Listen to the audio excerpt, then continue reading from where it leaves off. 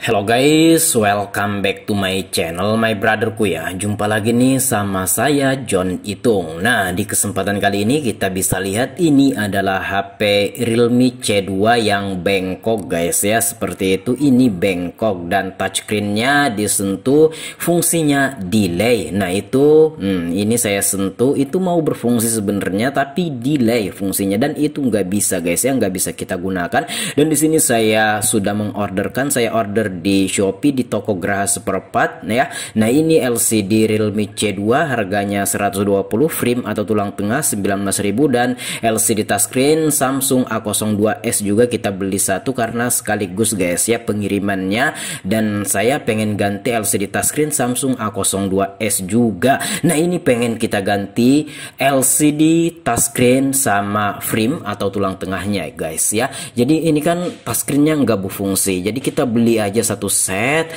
LCD sama touchscreen jadi nggak repot-repot. Dan frame atau tulang tengahnya itu guys itu bengkok dan nggak bisa digunakan. Seandainya kita paksa untuk menggunakannya dikhawatirkan LCD yang barunya akan akan rusak gitu kan? Karena frame atau tulang tengahnya ini bengkok ya. Jadi ini kita langsung ganti LCD touchscreen plus frame atau tulang tengah. Di sini saya sudah mengeluarkan SIM tray-nya, saya sudah mencucuk SIM tray-nya dan ini backdoor-nya sudah kita congkel dan backdoor-nya sudah juga terbuka dan di situ ada beberapa biji baut guys ya. Kita buka dulu baut-bautnya ini. Saya percepat video persingkat durasi yang ada ya. Ini baut plastik penutup mesin PCB HP ini ya.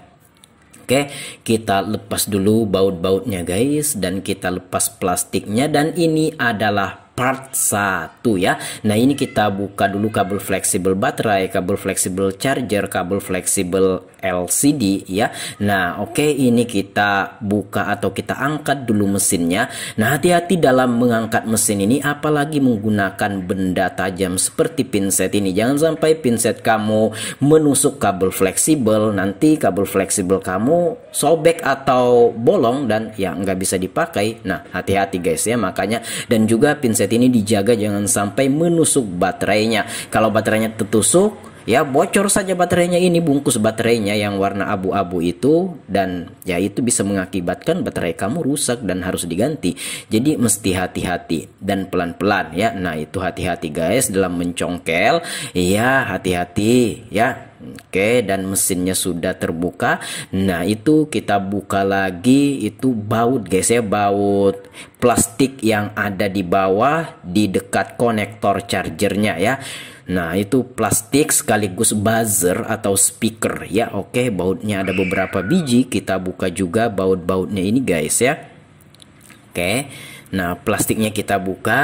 Hmm, Oke, okay. kita buka juga itu. Kita buka kabel fleksibel chargernya yang ada di bawah itu, guys. Nah, itu. Nah, konektor chargernya. Nah, sudah terlepas mesin plus konektor charger yang disambungkan dengan kabel antena itu udah terlepas dari frame atau tulang tengah dan kita akan melepas baterainya. Kita gunakan cairan thinner untuk membantu melepas lekatnya lem yang ada di balik baterai ini atau di belakang baterai ini ya. Nah, itu cairan thinner. Saya menggunakan cairan thinner Avian guys ya. Avian B asli. Nah, oke. Okay. Jadi ini guys videonya ini saya bagi menjadi dua bagian atau dua part yang di mana ini adalah part 1 guys ya.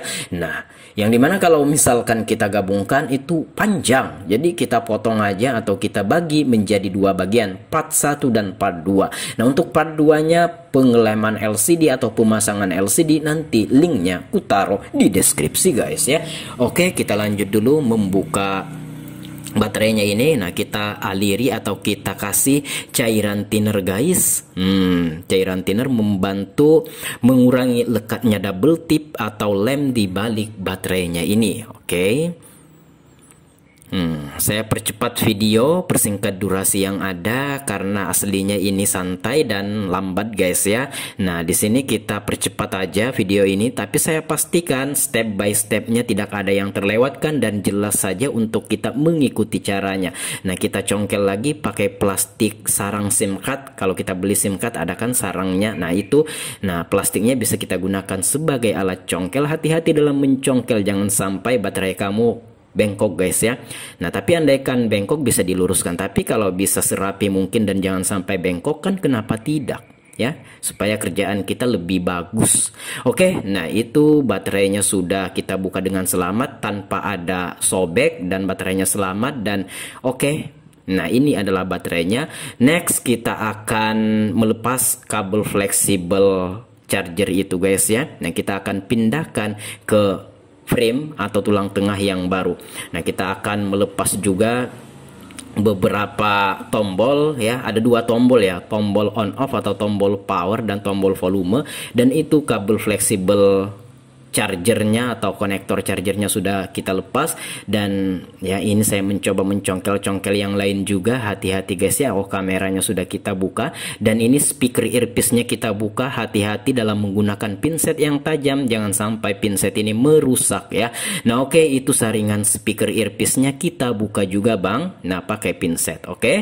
nah pinset ini ya harus hati-hati kita gunakan tapi fungsinya banyak guys ya langsung kita pasangkan bang uh, saringan speaker earpiece-nya ini ke ini ke frame atau tulang tengah yang baru yang harganya Rp19.000. Nah, speaker earpiece-nya juga kita udah pasangkan dan ini tombolnya ya tombol volume sama tombol power dan kita kasih cairan thinner untuk membantu melepas ya melepas lem atau double tip di belakang kabel fleksibelnya ini. Karena itu double tip atau belem guys ya. Oke nah ini kita buka saja bang. Ini pelan-pelan aja. Iya oke. Hmm kita pindahkan kita mencoba mencongkel kabel fleksibel ini tombol on off ya. Hati-hati dalam menggunakan pinset jangan sampai pinset kamu menusuk ya menusuk kabel fleksibel ini. Kalau tertusuk itu bisa bolong bisa sobek yang mengakibatkan rusak ya rusak nanti fleksibel atau kabel fleksibel tombolnya ini ya. Ini tombol on off nya udah kita lepas dengan selamat ya. Kemudian kita akan lanjut membuka atau mengangkat kabel fleksibel tombol volume oke okay? nah ini guys ya kita coba congkel hati-hati kita gunakan sedikit cairan thinner untuk membantu melepas lem atau double tip di balik fleksibel atau kabel fleksibel tombol volumenya ini. Dan itu vibratornya kita akan congkel juga pakai pinset. Hati-hati lagi-lagi saya ingatkan hati-hati jangan sampai pinset kamu malah merusak ya. Nah hati-hati dalam menggunakannya. Oke nah vibratornya sudah kita lepas dan itu kabel fleksibel buzzer atau speaker musik atau speaker yang gede atau speaker suara yang di bawah di dekat konektor charger. Nah kita gunakan cairan thinner juga untuk membantu melepas kabel fleksibelnya ini. Oke dan sudah terlepas dan tinggal kita pasangkan ke frame atau tulang tengah yang baru seharga Rp19.000 guys. Ya oke? Iya Oke, dan kalau nggak melengket atau bekas lem atau double tipnya yang lama itu nggak melengket, kita bisa gunakan sedikit lem ya, lem LCD bisa. Nah ini lem LCD Zenlida B7000 kita kasih sedikit ya, udah kita kasih. Hmm, oke, jangan terlalu banyak guys ya. Nah oke, di sini tinggal kita lengketkan aja. Hmm, ini adalah tombol on off atau tombol powernya guys.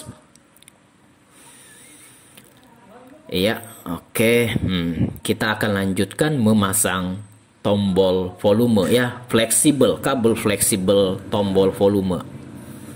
Oke, mantap. Ini tombol powernya atau on off-nya sudah sip. Kita akan pasang yang ini lagi. Nah, ini tombol volume ya fleksibel kabel fleksibel tombol volumenya. Nah ini sepertinya itu bekas atau sisa double tip atau lemnya yang lama itu masih bisa menempel sehingga ya udah nggak usah dikasih guys ya. Nah nggak usah dikasih lem maksudnya ya karena bekas atau yang lamanya double tip atau lem yang lamanya itu masih bisa menempel. Dan ini saya mencoba memastikan dan ini sudah sip sudah fix sudah bagus. Iya tinggal kita memasang mesinnya guys Hmm, Oke, okay, saya coba pencet-pencet memastikan. Oke, okay, nah di sini kita pasang kameranya, kamera depannya, kita pasang mesinnya guys ya, mesin PCB-nya. Oke, okay, dan kita pasang semua apa yang kita lepas dari frame atau tulang tengah yang lamanya ya. Oke, dan saya katakan lagi ini adalah part 1 dan untuk part 2 nya itu bagian pemasangan dan pengeleman LCD yang baru. Link ada di deskripsi. Silahkan cek guys ya. Oke ini kabel fleksibel konektor chargernya kita pasang. Nah kita isolasi dulu guys mesinnya supaya kagak bergeser-geser atau terangkat. Nah ini kita pasang juga vibratornya sudah kita pasang kabel fleksibel buzzer atau speaker musiknya sudah kita pasang konektor chargernya juga. Ini kita pasang guys ya. Oke. Ya ini kabel antenanya kita rapi-rapihin. Oke. Iya oke sip. Iya, nah ini kita rapi-rapikan. Oke, dan itu sudah kita pasang kabel fleksibelnya ke bagian PCB kecil yang konektor charger itu ya. Nah, oke di sini hmm, kita pasang plastik penutup konektor chargernya yang di mana itu sekaligus speaker musik ya atau buzzer. Nah, kita pasang pengganjalnya itu. Nah, itu karet ya, karet pengganjal, pengganjal baterai. Oke dan ini kita kasih double tip guys ya kabel fleksibel konektor chargernya ini supaya nggak lari-lari dianya hmm. oke kita pasang dan kita akan lanjut pemasangan LCD touchscreen yang baru yang seharga 120 itu. Nah, nanti linknya aku taruh di deskripsi. Saya bagi menjadi dua bagian. Part 1 dan part 2 ini adalah LCD-nya, pengelemannya nanti link videonya part 2 aku taruh di deskripsi. Saya akhiri saja sampai di sini guys.